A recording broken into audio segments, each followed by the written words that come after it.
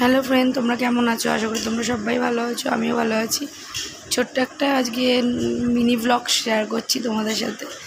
যেহেতু একটু প্রবলেম ছিল, আমি বড় ভিডিও করতে পারিনি। তো দেখো, এখানে আমি বাটা মাছ ধরছিলাম। তো বোন ভিডিও করে দিয়েছে আমাকে।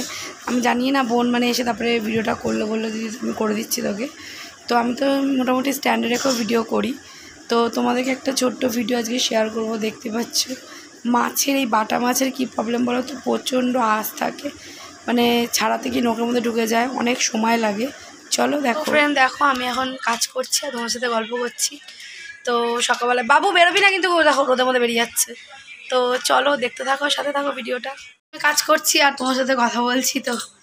মাছটা সব ধুয়ে দিলাম। দিদিকে, দিদি আজকে রান্না করছে কেন? আমি আজকে রান্না করতে পারব না।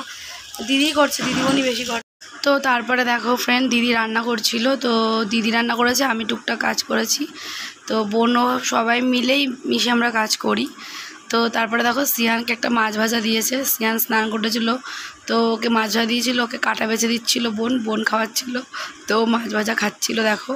তো তারপরে দুটোকে নিয়ে আমি খাওয়াই কেন? আমরা তার বাড়ি, ঘর পুরো নোংরা চোংরা করেছিল, বিকালের দিকে বোন সব পোষা করেছিল, কেন আমি আর পারছিলাম না কেন? সত্যিই আমি তো আমার শরীরের মধ্যে একদম জোর কমে গেছে গাইস তো তার জন্য আমি বেশি কাজ করিনি, বোনই করেছে।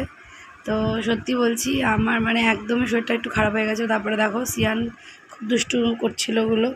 তো দেখো, দুটোকে মিলে আমি খাওয়াতে বসেছি। বিছনার হালটা শুধু দেখো পেছনে। তো ওদেরকে খাইয়ে তারপরে সব পরিষ্কার করেছে, বোন করেছে, আমি করতে পারিনি। তো তোমাদের সাথে একটা ছোট্ট ভিডিও শেয়ার করলাম। তো সবাই ভালো থেকো, সুস্থ থেকো। নেক্সট ভিডিওতে আবার খুব তাড়াতাড়ি দেখা